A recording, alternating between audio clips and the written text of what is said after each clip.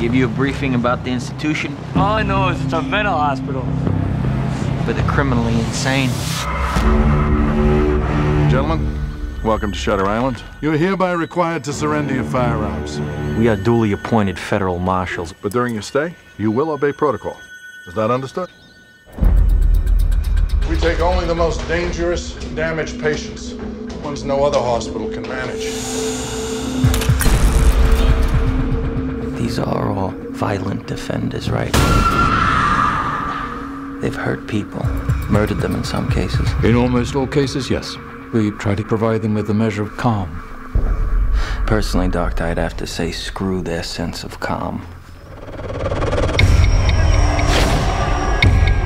So this prisoner escapes in the last 24 hours. We don't know how she got out of her room. It's as if she evaporated straight through the walls.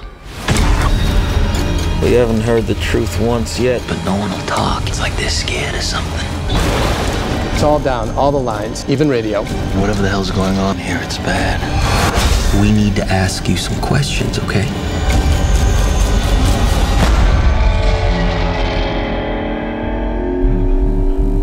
Do you know what fear does to the mind?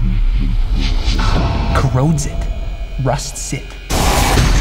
This is a game. You're a rat in a maze. Who did this to you? Going somewhere?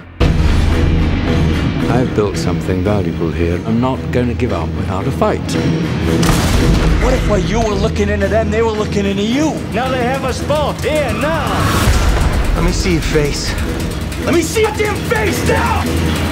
Double, double!